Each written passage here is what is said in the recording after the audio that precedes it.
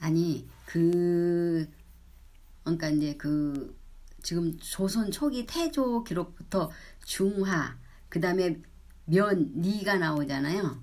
그래서 그 중화는 1912년에 중화민국이 생겼고 그 때문에 중화는 중화민국의 아 중국은 중화민국의 약자고 중화 그 중화라고 그러잖아요. 중화 화, 화 화를 쓰 화를 쓰든지 중국이라고 쓰든지 그래서 그러면은 1912년 이후에 쓰였다고 보여서 문득 생각 조선사 편수회가 생각이 나더라고요.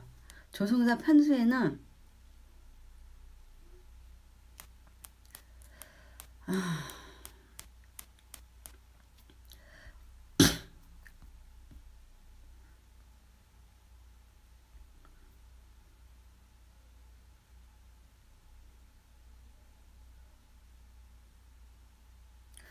음,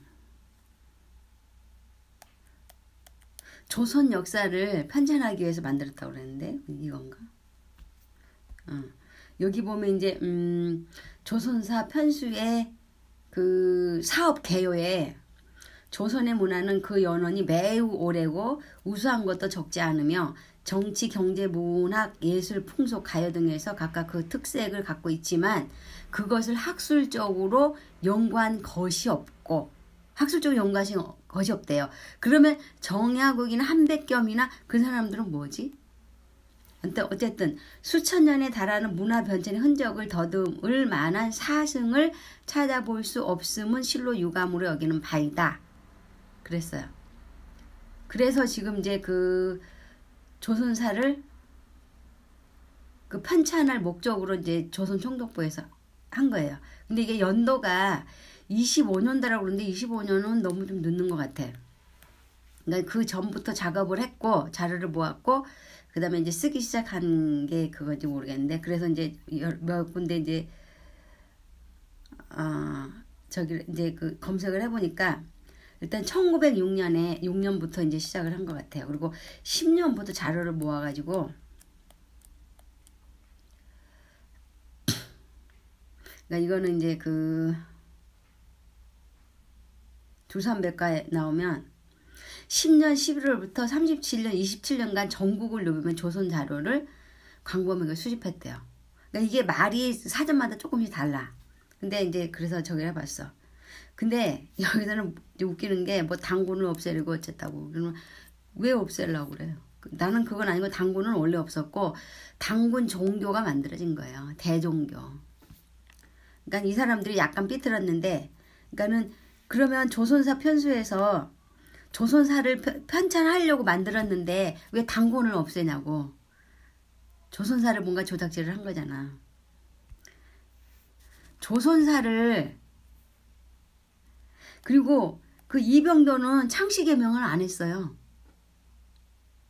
그리고 그 이제 조선사 편수에 들어갔다가 이 그 금소령이하고 이제 트러블이 있어서 나왔대요. 그리고 이제 그 해방까지 촉탁으로 이름은 올렸는데 일을 안 한 것 같다. 그렇게 돼 있고 신석호는 개명을 했고 그 사람이 조섭 판사 그러니까 뭐그 어, 이 사람은 그러니까 29년에 조섭 판사의 촉탁으로 근무했고 30년에 수사관보가 됐고 37년에 수사관으로 승진할 때 수사관보의 승진으로 그 다음에 45년 8월까지 있다가 국사 편찬위의 전신이 국사관을 만들어서 거기서 위원장을 원장을 했어요. 그러니까 그러면 만약에 해방이 됐으면 일본이 역사를 조작한 거를 저기를 해서 해야 되는데 그렇지 못했어. 그러면 나라에서 나라가 온전했으면 그러니까 이제 해야 되는데 그것도 안 됐잖아. 왜냐면 미군정이었다가 그다음에 전쟁이 났잖아요. 그다음에 그러면 이승만이가 이거 작업을 해야 되는데 이승만도 안안 한것 같고. 그래서 우리나라 저기 최 최후의 승자는 지금 일본이고 일본이 조선사를 편찬한 거예요. 조선사 편수회를 만들어서